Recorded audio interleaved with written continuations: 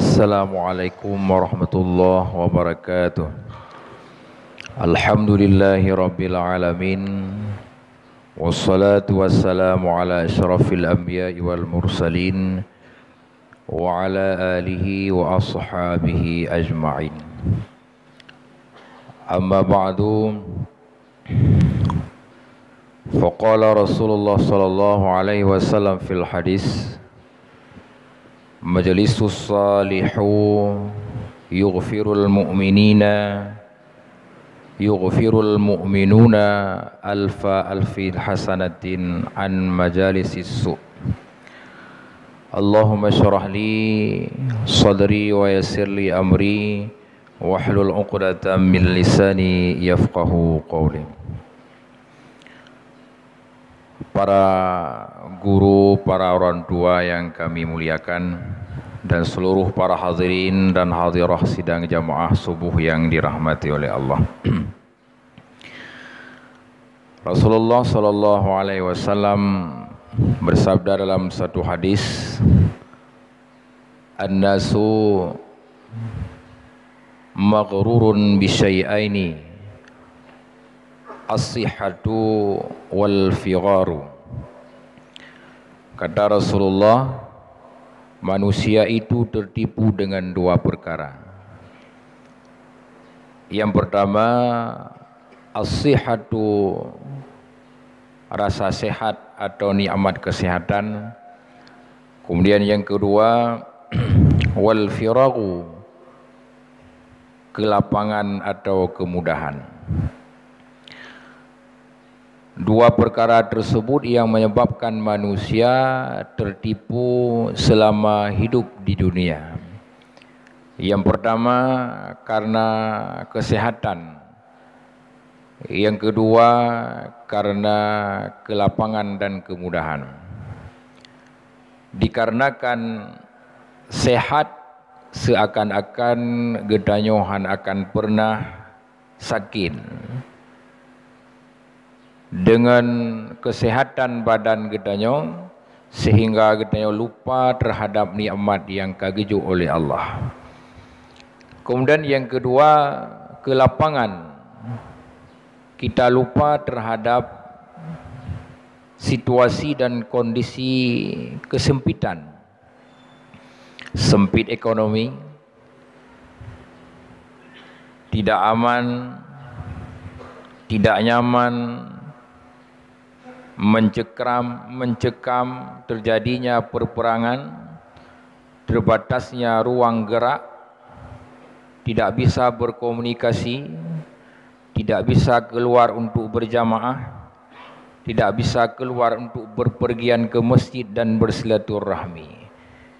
Maka kelapangan, kemudahan, mudah pergi ke sana dan ke sini sehingga kita lupa bagaimana kelak kalau suatu saat misalnya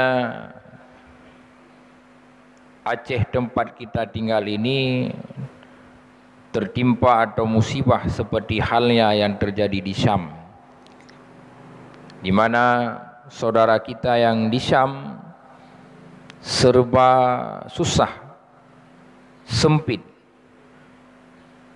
jangankan untuk makan dan untuk minum. Waktu untuk melaksanakan salat jamaah pun susah bagi mereka. Saudara kita yang di Palestina dan saudara-saudara kita yang ada di tempat-tempat yang lain. Kita yang mudah tatibit malam. Mudah tamondar mandir. Nyaman wadataja'u masjid namun situasi ini kadang-kadang jarang kita pergunakan untuk hal-hal yang bermanfaat. Antara lain hal-hal yang bermanfaat adalah untuk mendengarkan nasihat-nasihat untuk mendatangi majlis-majlis ilmu. Pergi dan datang ke majlis ilmu dimanapun tempatnya dan kapanpun itu sangat besar fadilahnya. Di mana Rasulullah sallallahu alaihi wasallam dalam satu hadis beliau bersabda al majlisus salih yukaffirul mu'minuna min alfai alfi hasanatin an majlisis su. Majlis yang salih majlis yang baik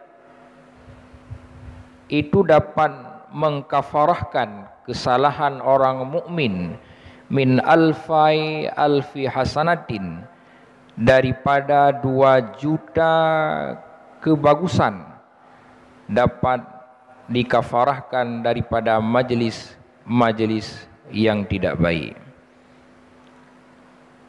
Majlis yang baik dapat mengkafarahkan menutup kesalahan dua juta majlis keburukan.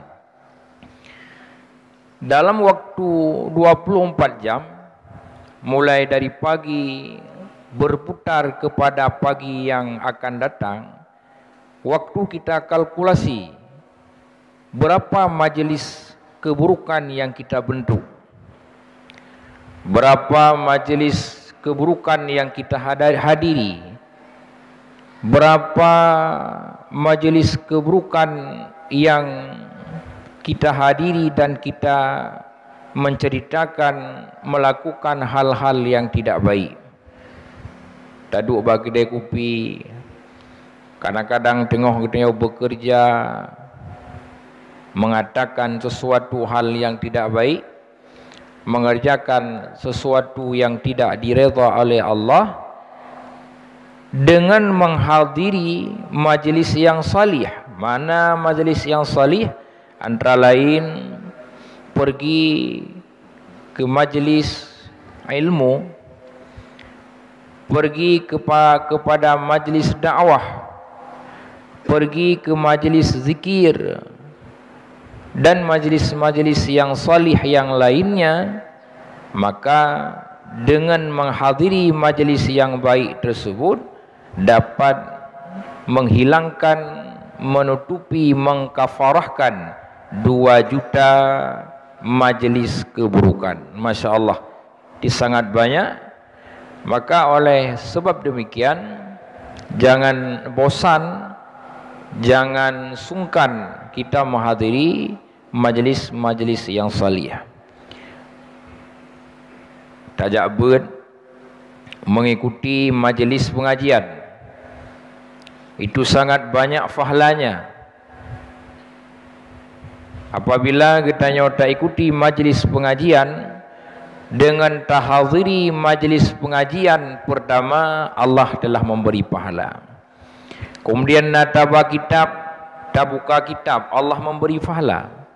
Nataba pena dah tulis rangkuman hasil yang kita dengar dari penyampaian guru yang mendapat pahala. Oh nataja hana taba kitab atau nataba kitab, nataba pena atau hana taba pena dengar maka juga Allah akan memberikan pahala kepada kita. Para hadirin dan hadirah sidang jamaah subuh yang dirahmati oleh Allah. Pada suatu hari datanglah seorang laki-laki kepada Rasulullah. Jaa rajulun ila Rasulullah sallallahu alaihi wasallam. Datanglah seorang laki-laki kepada Rasulullah. Faqal maka berkata ianya laki-laki tersebut, "Ya Rasul, mata sa'ah?" Ya Rasulullah, kapan akan terjadi sa'ah? Terjadi kiamat. Faqala Rasulullah sallallahu alaihi wasallam maka berkatalah oleh Rasulullah sallallahu alaihi wasallam Ma a'adatta laha? Engkau bertanya tentang hari kiamat. Ma a'adatta laha? Apa yang telah engkau persiapkan Untuk Bertemu dengan hari kiamat Faqala maka berkata laki-laki tersebut Ma'adattu laha kasirun Minas salah Wassaum Ya Rasul aku tidak mempersiapkan yang banyak untuk hari kiamat tersebut baik itu salat atau puasa. Tidak banyak ya Rasul. Salatku tidak banyak puasaku tidak banyak sebagai bekal untuk menghadapi hari akhirat illa kecuali inni ahibbu Rasulullah inni ahibbullah wa rasulahu. Kecuali aku hanya cinta kepada Allah dan cinta kepada rasulnya Allah faqala Rasulullah sallallahu alaihi wasallam maka berkatalah oleh Rasulullah sallallahu alaihi wasallam al mar'u ma'a man ahabba. Seseorang itu beserta orang yang dicintainya. Wa anta ma'a man ahbabta. Engkau juga wahai laki-laki beserta orang yang engkau cintai hadirin dan hadirah sidang jamaah subuh yang dirahmati oleh Allah kita selalu beserta orang yang kita cintai kita mencintai keluarga kita kita cinta terhadap anak kita. Kita cinta kepada istri kita. Kita cinta kepada korobah kita. Cinta dalam artian menginginkan yang terbaik bagi mereka itu seperti halnya yang terbaik buat kita. Cinta kepada istri. Cinta kepada istri bukan hanya saja dikala kita menginginkan mereka tapi cinta kepada istri diartikan dalam arti yang luas.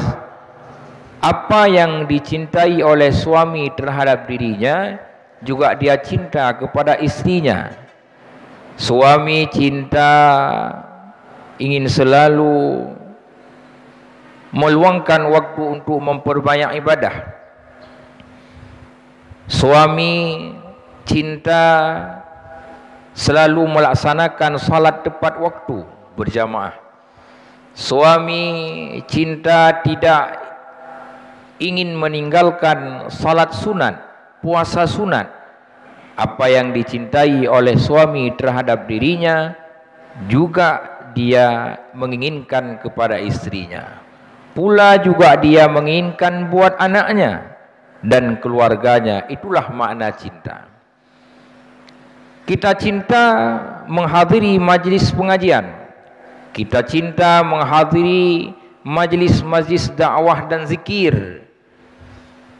Maka kita juga harus cinta kepada saudara kita untuk mereka ikut berpartisipasi, bersemangat menghadiri majlis pendidikan, majlis zikir dan majlis dakwah.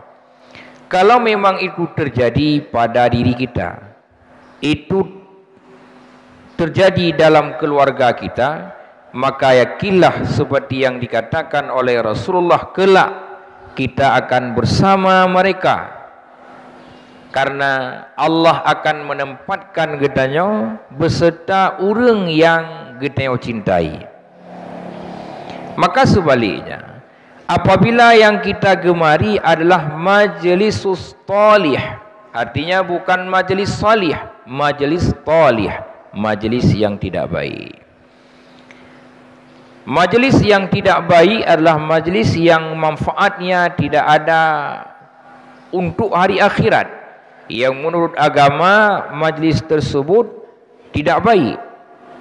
Syariat memandang itu tidak ada kemaslihatan baik kemaslihatan untuk badannya baik untuk kemaslihatan untuk agamanya baik kemaslihatan untuk hartanya dan lingkungannya kita senang menghadiri majlis itu. Maka juga kita senang bersama orang-orang yang ada di dalam majlis itu juga. Senang katanya buat tempat hiburan yang menurut agama yang hana manfaat. Bahkan bisa tercipta dan terjadi maksiat di tempat terjadi hiburan tersebut. Nah kalau majlis tersebut adalah majlis yang dilaknat oleh Allah yang membuat majlis itu maka akan dimasukkan dalam neraka oleh Allah. Gedanya yang senang menghadiri majlis tersebut maka akan bersama mereka juga di dalam neraka. Kenapa?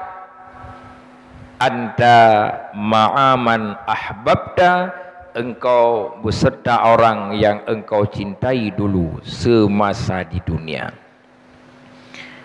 Oleh sebab demikian, dua nikmat yang telah diberikan oleh Allah as-sihah nikmat sehat wal firaq nikmat kelapangan kemudahan mari kita manfaatkan dengan sebenar-benarnya jangan sampai dua nikmat tersebut menjadi tipuan menjadi senjata makan tuan bagi kita. Maka Ibnu Athaillah beliau mengatakan dalam kitab hikam ma fata min umurika la audul lahu wa la qimata lahu. Ma fata min umurika suatu yang telah luput daripada usia engkau. La audul lahu tidak ada ganti untuk barang yang telah hilang itu wala qimata lahu dan tidak ada harga tidak ada mata uang yang mahal harganya yang dapat membeli usia engkau yang telah hilang. Usia yang luput yang hilang daripada gedanyo yang tak pergunakan tak pakai buat tempat yang hana mengguna. Tertipu gedanyo dengan kesihatan. Tertipu gedanyo dengan masa muda.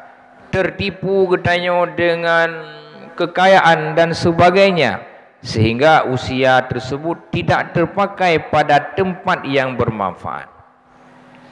La'udullahu kata Ibnu Athaillah. Tidak ada ganti untuk usia yang telah hilang itu. Tidak ada masa perpanjangan. Beda dengan pasport. Pasport jid dapat SIM mati jid dapat payang. Pajak mati jid dapat payang. Pulsa habis-habis masjid dan isi lain. Tapi usia tidak bisa diperpanjang. Allah telah mematok usia kita. Telah menentukan berapa usia kita. Kemudian wala qimata lahu. Tidak ada mata uang yang berharga walaupun itu dinar. Rial. Pound sterling. Dolar. Mata uang yang hebat. Apakah bisa kita membeli nyawa itu? Apakah bisa kita membeli umur itu? Tidak bisa. Maka oleh sebab demikian, usia adalah nikmat yang terbesar yang diberikan, yang dianugerahkan oleh Allah kepada kita. Hadirin dan hadirah sidang jamaah yang dirahmati oleh Allah. Maka marilah sama-sama pertama kita meningkatkan keimanan kita kepada Allah. Kemudian kita selalu gemar untuk melaksanakan semua ibadah-ibadah rajin gemar dalam bersedekah menghadiri majlis-majlis ilmu selalu senang dekat dengan orang-orang yang salih dekat dengan orang-orang yang dekat dengan Allah Subhanahu wa taala demikian kiranya nasihat singkat pada pagi yang berbahagia ini Pertama, hendaknya menjadi masukan dan renungan bagi pribadi kami dan umumnya kepada seluruh para hadirin dan hadirah sidang jamaah subuh yang dirahmati oleh Allah. Usikum bin nafsi bitaqwallah. Wassalamualaikum warahmatullahi ورحمة الله وبركاته.